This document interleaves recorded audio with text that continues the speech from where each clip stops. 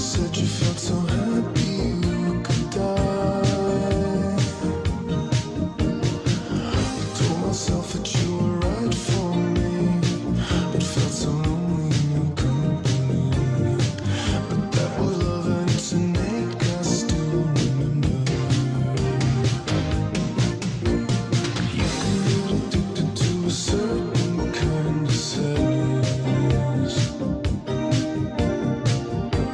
destination to the end, always the end.